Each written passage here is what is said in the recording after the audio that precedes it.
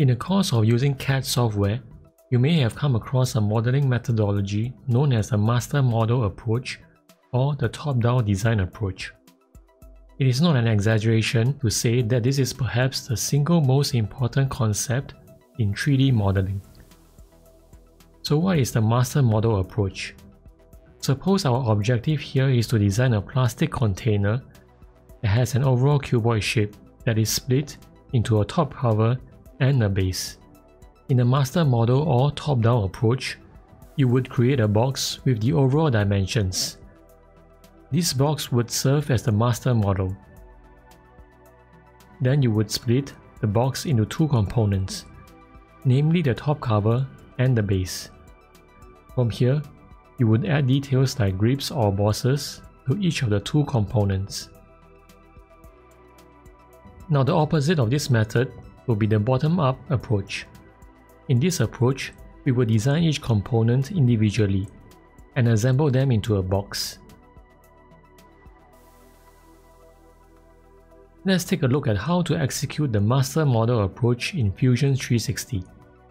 This will illustrate the power of the master model approach over the bottom-up approach.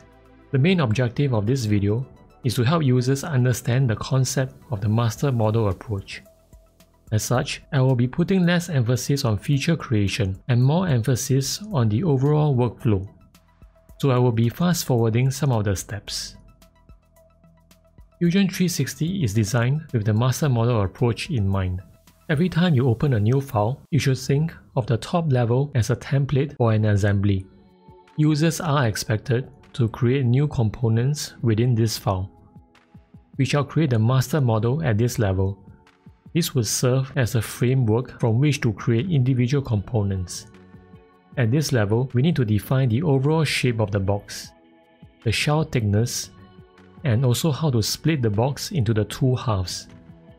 These are the three major features that would affect both the top cover and the base. So I will start by creating sketches on the primary planes that belong at this level and extrude from them.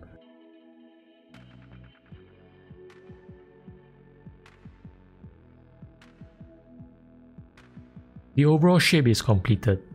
Let's shell out the internals. Go to Modify, Shell. In this case, we are shelling the entire body. Go to the browser and pick on the body. Enter the thickness and hit OK.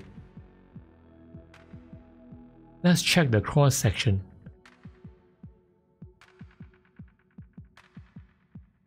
The next step is to sketch the split line.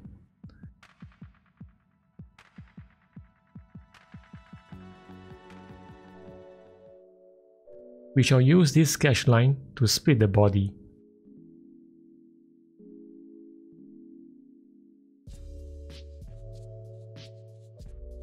Rename the bodies accordingly. This is the end of the master model creation process. From here, Control select the two bodies, right click and select Create Components from Bodies.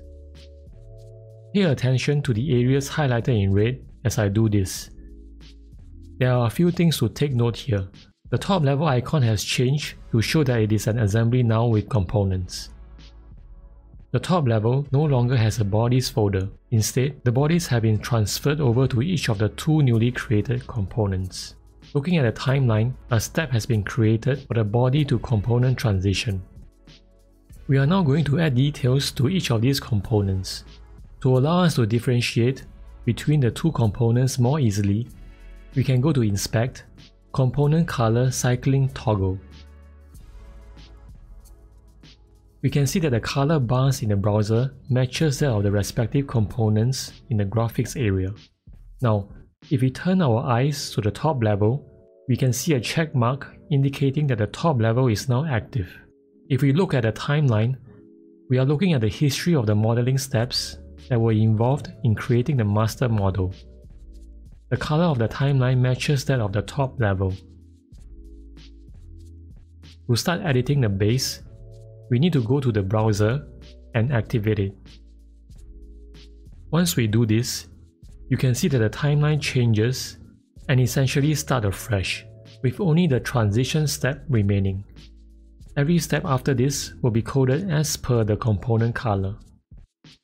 Let's hide the top cover and add in some details to the base.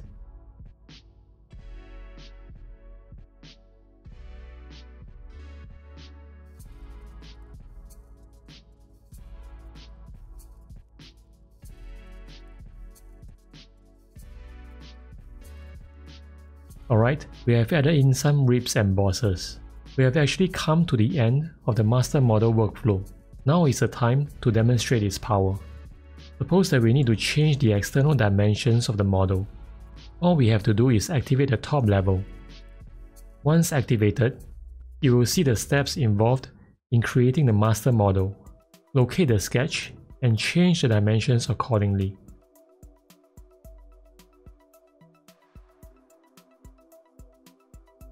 While we are at it, let's also change the split line.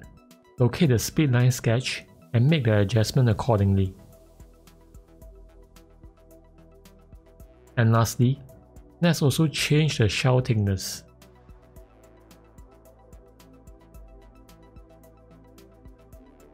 Once you hit OK, everything regenerates accordingly, right down to the individual components. With the master model approach, you don't have to worry about any mismatching between the top cover and the base. The adjoining faces of the top cover and the base line up perfectly. The shell thickness is consistent all round.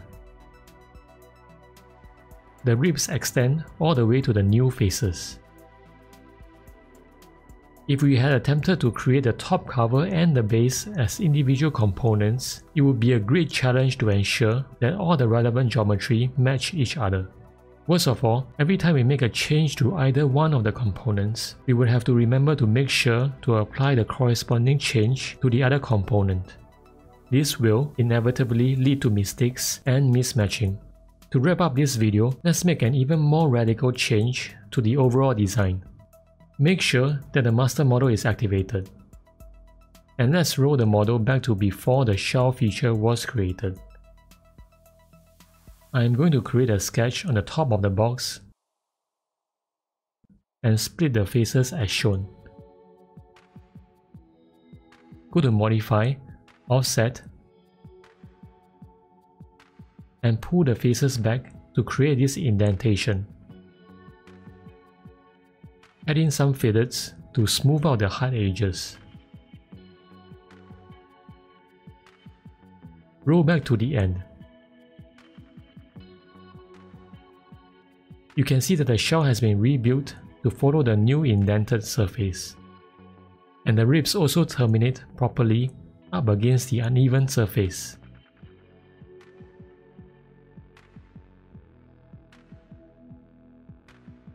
The indentation of the top cover exactly matches that of the base.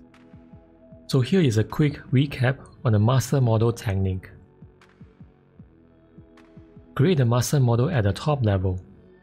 At this point, focus on the overall shape, the shell thickness, and the split line. Once the body has been split, select the two bodies and convert them into components. Activate the individual components to add details to them. If you need to make changes that affect the overall shape, shell thickness or split line, activate the top level to make those changes on the master model. What I have explained here pertains to using a master model approach on creating a simple box there are other designs that might require you to tweak the master model workflow slightly. In some cases, instead of a master model, you might do a layout sketch at the top level and extrude components out individually. So feel free to experiment and decide what works best for you.